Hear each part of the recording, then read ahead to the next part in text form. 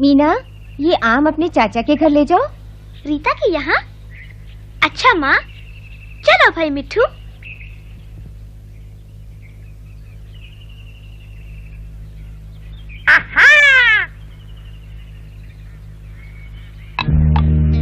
देखो बनिया आ रहा है। चलो छिप जाते हैं। सब ठीक हो रहा है।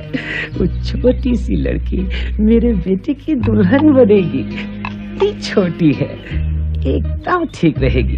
कहना मानेगी, घर का सारा काम करेगी, नौकर की तनख्वाह बचेगी। आज मेरा बेटा बाबू शहर से आएगा। बढ़िया जोड़ी रहेगी। इतनी छोटी सी दुल्हन। कौन है ये छोटी सी दुल्हन?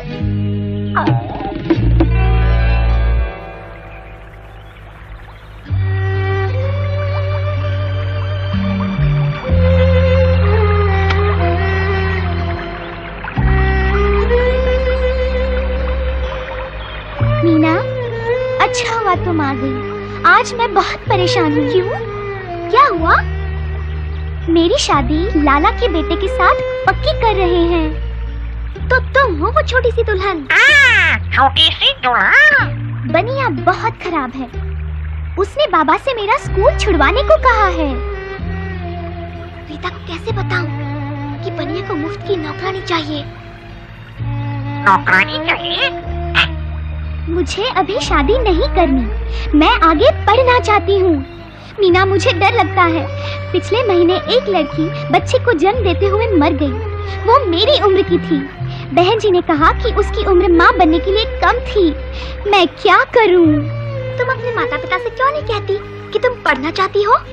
कहना तो चाहती हूँ पर अपनी शादी के बारे में बात कैसे करूँ? दादी से पूछते हैं कि क्या करें।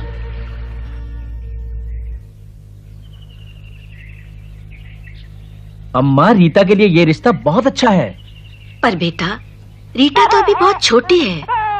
मेरी अपनी शादी भी छोटी उम्र में हुई थी। मैं पंद्रह की भी नहीं थी जब मेरा पहला बच्चा हुआ। और कितना दुख उठाया मैंने। बच्चा भी नहीं रहा। किस्मत से मैं तो बच गई। मैं नहीं चाहती कि रीटा के साथ में भी ऐसा हो। अम्मा ठीक कहती हैं। लड़की की शादी तभी करनी चाहिए जब वो ज़िम्मेदारी उठाने लायक हो जाए। देखो उस लड़की को। वो पंद्रह साल की ब्याही गई। बेचारी नन्ही सी जान का क्या हाल हो गया है? मगर इतना अच्छा रिश्ता बड़ी मुश्किल से मिलता है अम्मा। लड़का डॉक्टर बनने वाला है। कैसे छोड़ दूँ ये मौका? पर चाचा जी रीता भी तो पढ़कर डॉक्टर बन सकती है? नर्स बन सकती है? हाँ बन सकती है। हाँ। हाँ अगर रीता पढ़ना चाहती है तो उसे पढ़ने दो भैया। मैं सोचता था इस रिश्ते से आप सब उतना ही खुश होंगे जितना कि मैं। हमें बेहद खुशी है बेटा लेकिन रीता के बालिग होने तक रुकना ही ठीक रहेगा। हाँ, मुझे नहीं लगता बनिया तब तक इंतज़ार करेगा।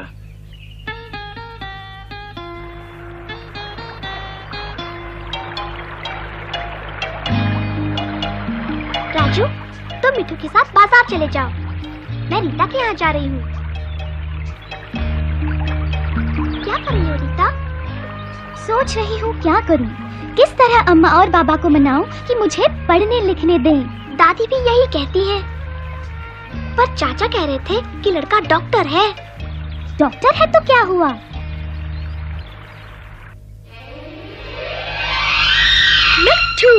देखो ये सब।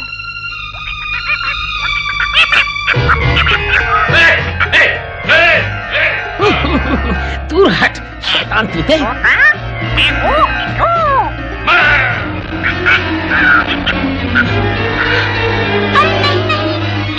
मत मारो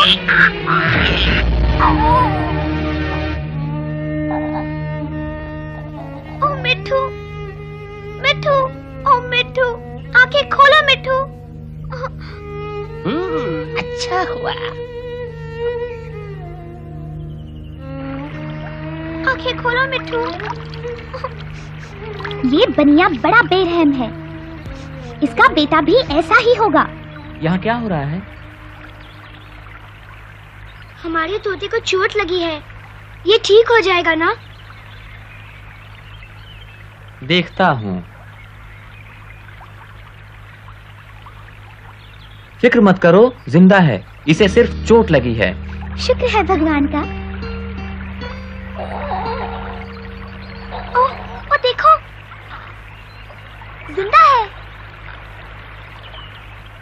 बच्चू ठीक हो तुम?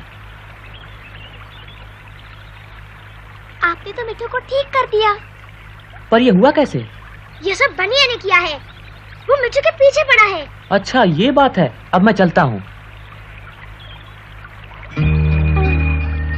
कितना अच्छा है। कौन था वो? हंस क्यों रही हो तुम? हम्म ठीक है। मैं ही जाकर पूछता कि वह कौन है। अरे रे रे रे आ गया मेरा बेटा। तुम्हें देखकर बूढ़े बाप के कलेजे में ठंडक पड़ गई। पिताजी।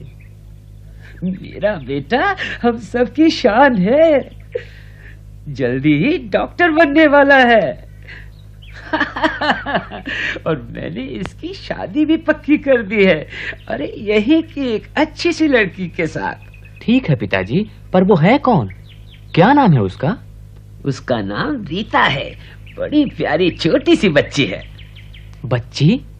क्या उम्र होगी उसकी? इसमें क्या फ़र्क पड़ता है? जितनी छोटी उतनी अच्छी। फिर भी क्या उम्र है उसकी?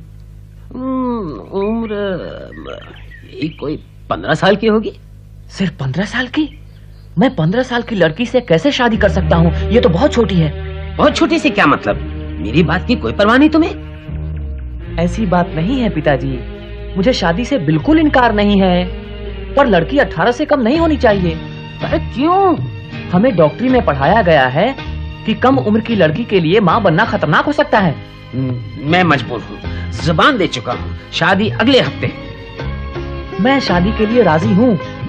पर तीन साल बाद अभी मेरी उम्र ही क्या है? तीन चार साल तो रुक ही सकते हैं ना? मेरी नाक कटवाएगा।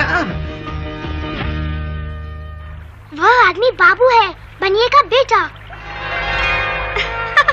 क्यों? क्या सोच रही हो रीता?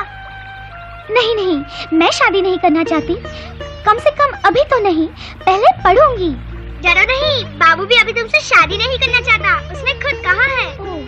कहता है लड़की 18 साल की तो होनी ही चाहिए। बनिया तो अगले हफ़्ते ही शादी करना चाहता है। रीता आ रही है बाबू बाबू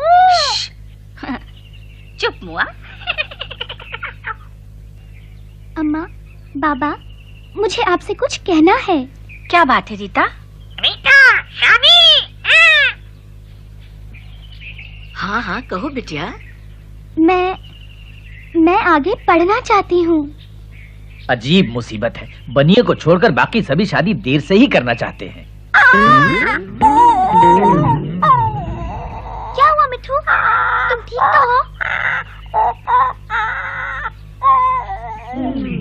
मैं डॉक्टर को लेकर आती हूँ।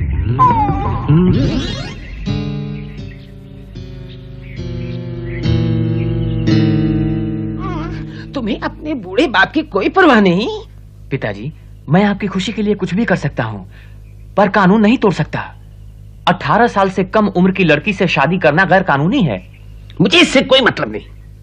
सुनिए जल्दी आइए। मेरा तोता मर रहा है। अच्छा तो मैं जाऊँ पिताजी? तो ये सब पढ़ाई तुमने तोतों का इलाज करने के लिए की है? जाओ।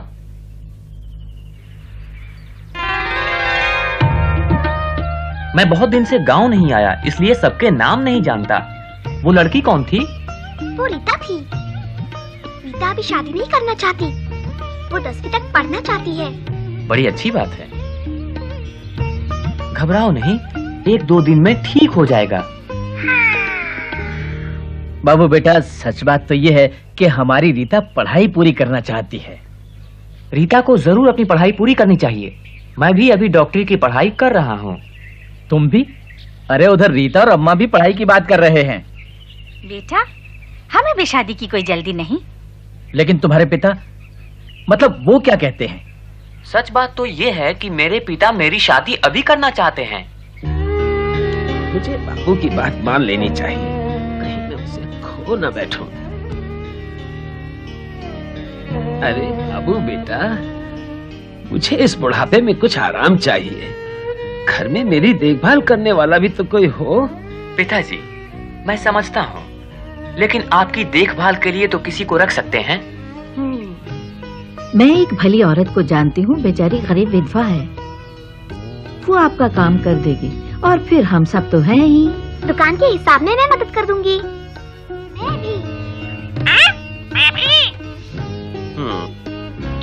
अच्छा शायद तुम ठीक कहते हो। अगले हफ़्ते मंगनी की रस्म कर देंगे।